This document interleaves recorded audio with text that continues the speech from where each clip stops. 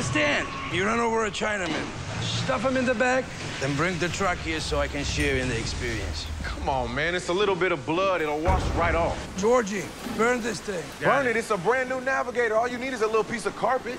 You watch the Discovery Channel? Not a lot. They got some good shit on that channel. Every night there's a show with somebody, shining a little blue light and finding tiny specks of blood spattered on carpets and walls and ceiling fans, bathroom fixtures, and special edition plastic Burger King tray cups. And the next thing they show is some stupid redneck in handcuffs who looks absolutely stunned that this is happening to him. Sometimes the redneck is actually watching a Discovery Channel when they break in to arrest him, and he still can't figure out how on earth they could have caught him.